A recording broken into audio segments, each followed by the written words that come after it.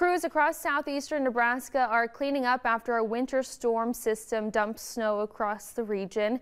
In Lancaster County, that means covering over a thousand miles of road, gravel roads, and subdivisions.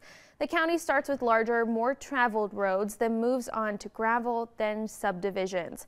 Prior to the storm, crews were working on prepping for construction, like trimming trees and clearing areas. The county has a little more than 60 people who were clearing roads for the last couple of days. And when it comes to snow clearing, it's all hands on deck. It does pull away from other operations and even managers will go ahead and get in the truck if we get to that point we're really trying to push through.